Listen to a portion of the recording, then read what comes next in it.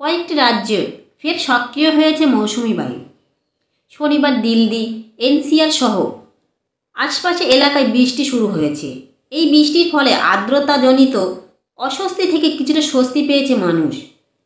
অন্যদিকে ভারী বর্ষণের বিপর্যস্ত হিমাচল প্রদেশ ও উত্তরাখণ্ডের জনজীবন।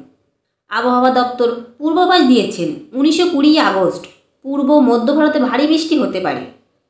এছাড়া কুড়ি আগস্ট থেকে উত্তর পূর্ব ভারতে ভারী বর্ষার পূর্বাভাস দেওয়া হয়েছে।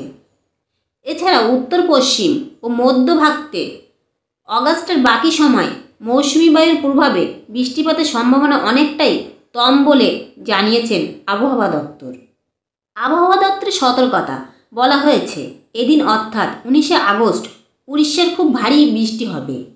এছাড়াও ঝাড়খণ্ডে উনিশে আগস্ট পর্যন্ত বিহার ও হিমালয় সংলগ্ন পশ্চিমবঙ্গ ও সিকিমে বাইশে আগস্ট পর্যন্ত বৃষ্টিপাতের অব্যাহত থাকবে। বাইশ ও তেইশে আগস্ট বিচ্ছিন্নভাবে ভারী বৃষ্টির পূর্বাভাস দেওয়া হয়েছে হিমালয় সংলগ্ন পশ্চিমবঙ্গ ও সিকিমে।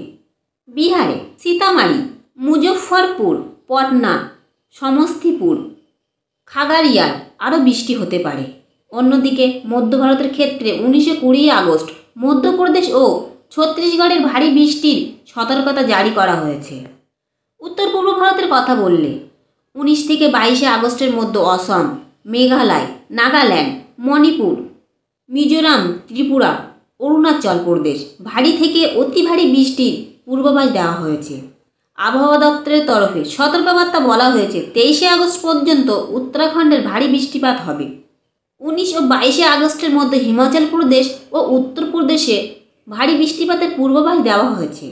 দক্ষিণ ভারতের ক্ষেত্রে উপকূল অন্ধ্রপ্রদেশ তেইশে আগস্ট পর্যন্ত বিচ্ছিন্নভাবে ভারী বৃষ্টির পূর্বাভাস দেওয়া হয়েছে।